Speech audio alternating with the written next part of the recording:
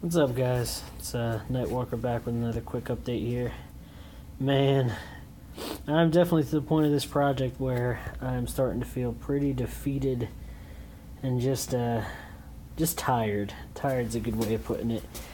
Um, all right, so the motor is uh is mostly back together. I'll give you a quick view of that.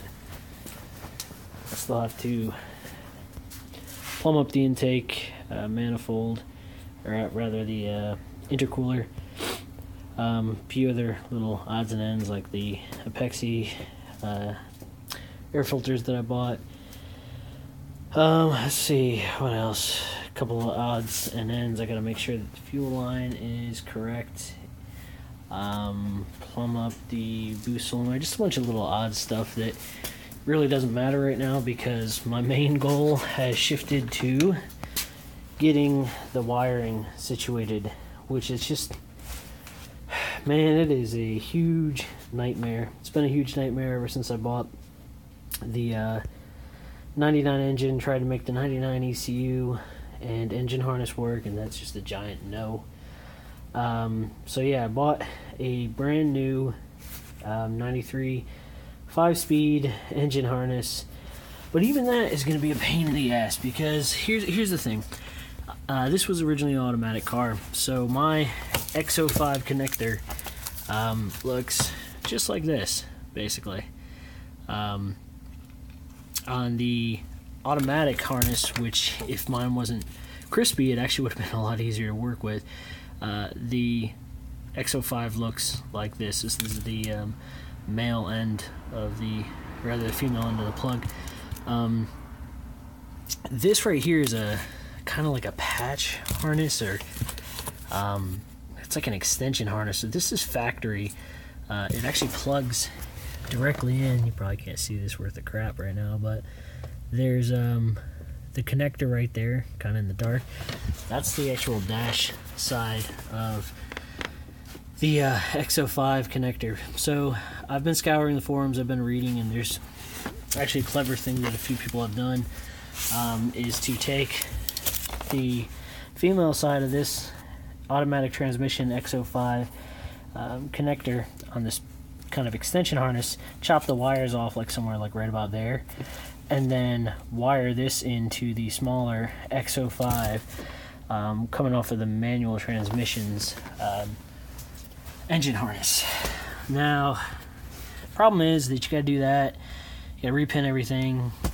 You also have to deal with the X14, which is different as well on the uh, automatic versus the manual. And it's the same thing that there's this. It's, it's built into this original patch. There's a patch extension for the X14 as well. So just uh, nothing about this has been easy. Let me stress that it's. Uh, don't get me wrong. Most of the time, I've been having fun with this, but um, I'm to the point where it's so far along the project. Like I said, there was such a huge break where it's there's a lot of little things working against me. Um, time was the biggest one. The lapse in between when I took all this crap apart versus where I'm trying to go back and, and start to put it all back together because I don't remember like half of what I took apart because it was so long ago.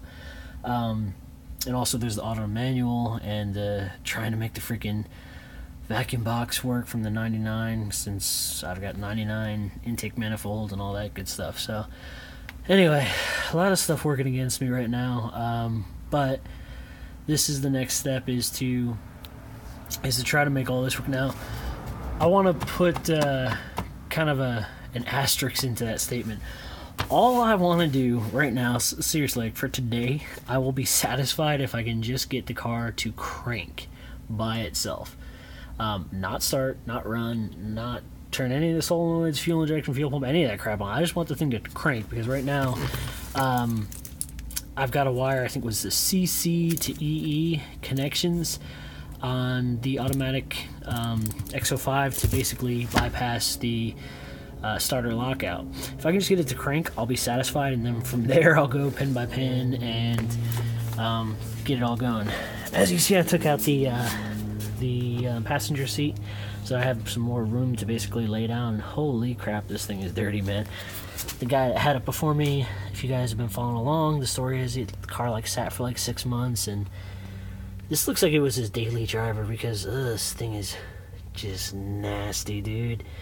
I don't know what the hell that. I don't know if that's mold or what the hell that is, but this carpet's gonna have to come completely out, um, be thoroughly washed, and uh, maybe just flat out replaced because it is nasty. But yeah. Anyway, there's a. What the hell is that, man? What the hell? Salt? I, I don't know. I don't know. I found some weird stuff in cars before. But anyway, that's where I am. Gonna keep working and uh, hopefully have some more updates. Uh, I know that as I'm shooting this video, I've, I've shot like, I don't know, like five or six videos at least. Um, and I haven't posted any of them, so I'm probably at some point going to post just like a series of videos, which is mostly like, hey, I said I'm going to try this, it failed. Then I moved on to something else and tried it a different way and made a little bit more progress and ran into another pitfall. That's kind of how working on a car is. I mean, you can see this, my garage is a freaking disaster again. Um, this is over the course of three days. It's just gotten freaking stuff everywhere. Because when you're working on things, you kind of just grab what you need, throw it down, and keep on going. So, yeah. Anyway, I'm rambling. I'm going to work on the wiring and I'll update again shortly. Alright, later.